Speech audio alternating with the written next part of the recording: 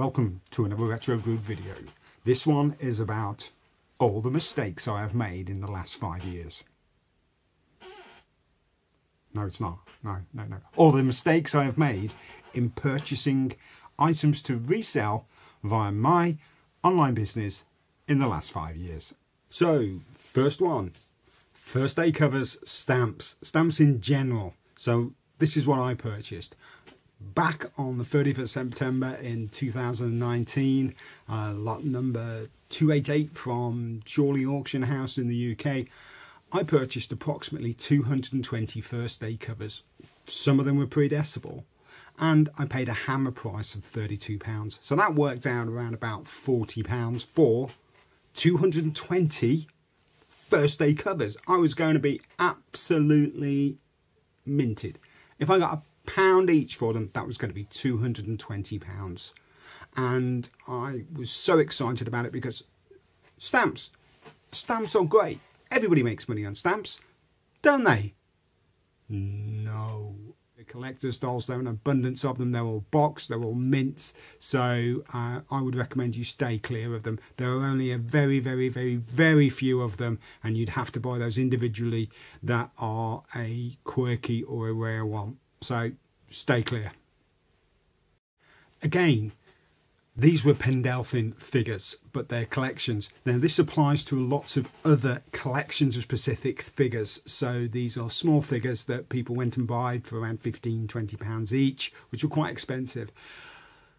The market burst. There was only a very, very, very, very few select figures that were a limited edition that in true sense limited edition or had got a design fault that are worth it. The majority of them, and this example was Pendelfin figures, but it could be, a consider it could be Enid Blyton figures, it could be all those sort of small ceramic figures.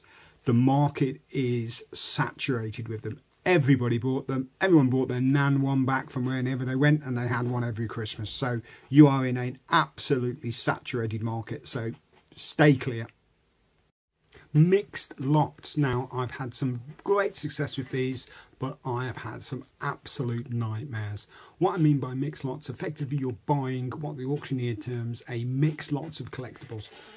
In essence, some of these can be junk, somebody else's junk. They just put them into five boxes. The auctioneer has maybe catalogued them, sees nothing of any value, and puts them in as a mixed lot and you purchase them only thing I can recommend is that you must go and view the mixed lots because you can find some gems in there. But as a general rule, if you are buying, like in this photo, a five box mixed lot, and you are not going to view it, you're only visually going to see what you can see on the screen. You won't know of any damage, you won't know of any breakages, you won't know if they are complete. So my experience has been that when you are buying low value mixed lots where there are lots of items have covered, it is a lottery. So be very, very careful on buying effectively somebody else's junk that's been put into loads of boxes and sold at a premium to you via the auction.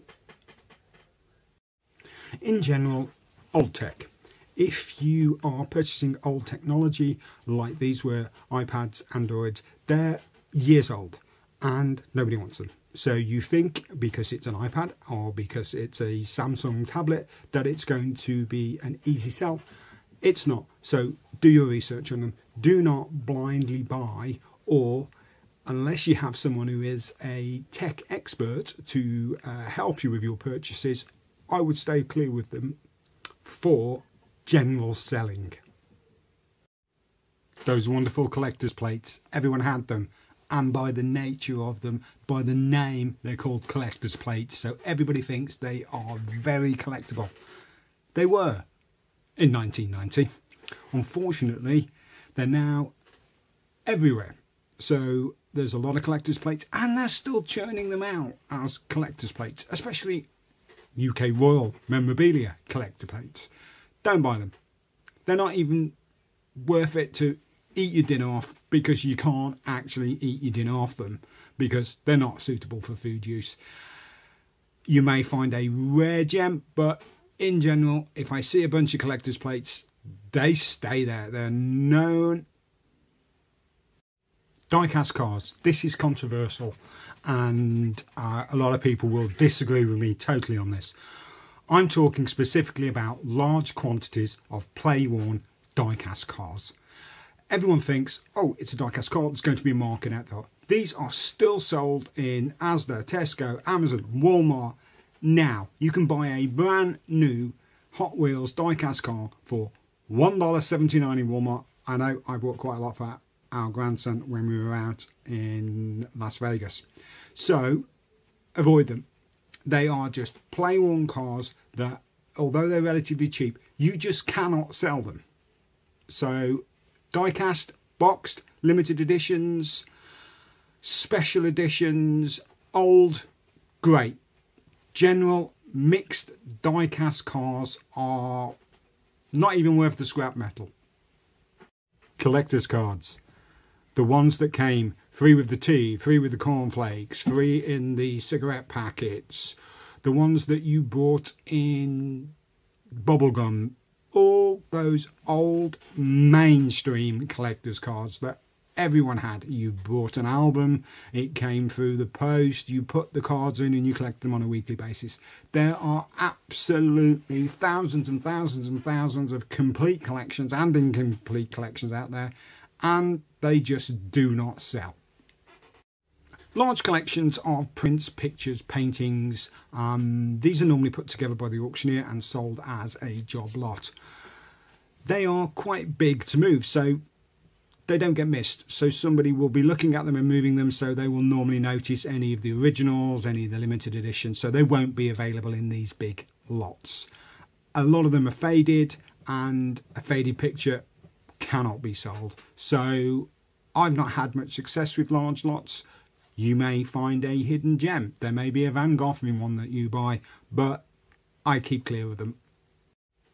And finally, postcards. I'm stopping at postcards for this video because if some of you are here, you, you're probably bored.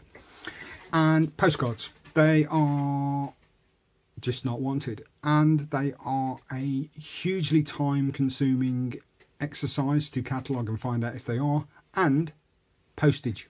We sell online, so postage over value totally makes them a non-starter for us. So we now avoid postcards.